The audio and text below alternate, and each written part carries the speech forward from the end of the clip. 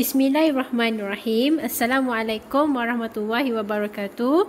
Kepada anak-anak tahun 3 Asaf, hari ini Ustazah akan menerangkan berkenaan dengan unit 6 iaitu tajuk pengukuran dan Ustazah akan fokus kepada subtopik kita pada hari ini iaitu isi padu. Baik, sebelum pergi lebih lanjut lagi, Ustazah akan beritahu anak-anak apa yang anak-anak akan capai setelah habis pembelajaran kita pada hari ini. Objektif pengajaran dan pembelajaran pada akhir pembelajaran, murid boleh pertama menyatakan unit yang digunakan untuk mengukur isi padu. Kedua, anak-anak boleh mengukur isi padu kotak lohong. Yang ketiga, anak-anak mampu mengukur isi padu cecair. Dan yang keempat, anak-anak mampu juga menentukan isi padu pepejal tidak sekata. Baik, kita akan pergi dulu unit yang digunakan untuk mengukur isi padu. Baik, ah sebelum pergi lebih lanjut lagi, ustazah ingin beritahu anak-anak apakah maksud isi padu. Isi padu ialah besarnya sesuatu ruang yang dipenuhi oleh sesuatu pepejal, cecair atau gas. Anak-anak boleh rujuk pada buku teks tahun 3 halaman 85. Apakah unit yang digunakan untuk mengukur isi padu? Baik. Unit yang digunakan untuk mengukur isi padu mililiter, liter dan juga meter padu. Isi padu diukur menggunakan alat pengukur dan dinyatakan dengan unit yang sesuai. Sebagai contoh, anak-anak boleh lihat isi padu susu kotak dinyatakan dalam unit mililiter. Isi padu air botol pula dinyatakan dalam unit liter. Manakala isi padu tangki air dinyatakan dalam unit meter padu. Baik, seterusnya bagaimanakah caranya anak-anak untuk mengukur isi padu kotak lohong? Baik, isi padu kotak lohong boleh diukur dengan menggunakan kubus 1 cm padu. Kita akan lihat bagaimana caranya. Isi padu kotak lohong tersebut bersamaan dengan jumlah kubus 1 cm padu yang boleh memenuhi ruang kotak. Kotak tersebut sebagai contoh dalam contoh buku teks tahun 3 halaman 86, kotak tersebut memerlukan 8 kubus 1 cm padu untuk memenuhi lohong maka jumlah isi padu kotak lohong ialah 8 cm padu. Baik, anak-anak juga boleh menggunakan rumus isi padu iaitu panjang darab dengan lebar darab dengan tinggi.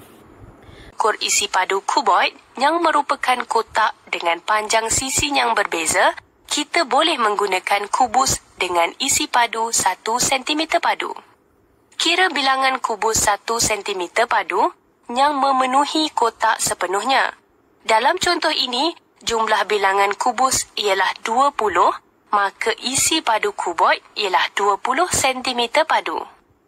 Untuk menghitung isi padu kubus atau kuboid, kita perlu tahu panjang, lebar dan tinggi.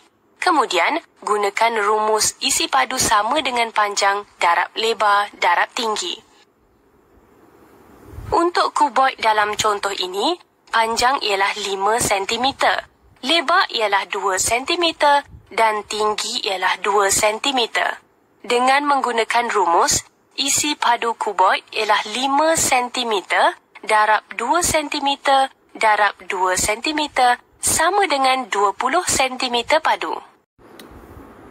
Baik, kita teruskan lagi pembelajaran kita pada hari ini dengan mengukur isi padu cecair. Anak-anak boleh rujuk buku teks tahun 3, ha, buku teks sains tahun 3 halaman 88. Apakah alat yang sesuai untuk mengukur isi padu cecair? Isi padu cecair boleh diukur menggunakan silinder penyukat atau bika. Anak-anak boleh lihat contoh yang telah ustazah sediakan. Apabila mengukur isi padu cecair menggunakan silinder penyukat adalah penting untuk menggunakan teknik yang betul untuk memperoleh pengukuran yang jitu. Pertama sekali, letakkan silinder penyukat di atas permukaan yang datar dan rata. Kemudian, tuangkan cecair yang anda ingin ukur ke dalam silinder penyukat.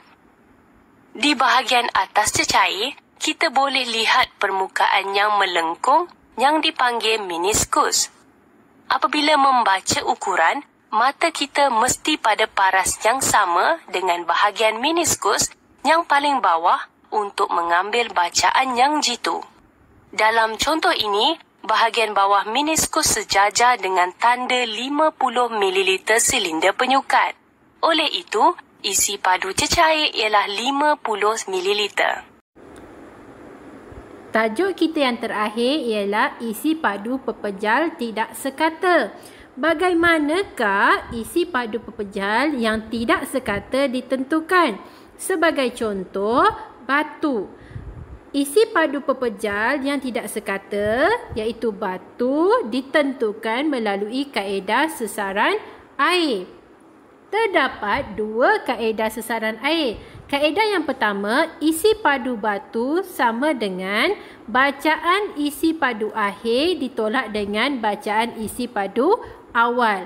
Sebagai contoh, di dalam di dalam contoh ini, Bacaan isi padu akhir adalah 30 ml dan tolak dengan bacaan isi padu awal 20 ml. Jadi isi padu batu adalah 10 ml. Manakala kaedah kedua kita akan menggunakan tin urika. Tin urika ini di mana isi padu air yang tersesar bersamaan dengan isi padu objek ataupun isi padu batu. Anak-anak boleh lihat contoh yang ustazah berikan. Kaedah paling mudah untuk menentukan isi padu pepejal tidak sekata adalah melalui kaedah sesaran air. Isi silinder penyukat dengan sedikit air. Kemudian, rekodkan paras awal air. Seterusnya, perlahan-lahan masukkan objek tidak sekata ke dalam silinder penyukat. Rekodkan paras akhir air di dalam silinder penyukat. Perbezaan antara paras akhir dan paras awal air di dalam silinder penyukat ialah isi padu batu.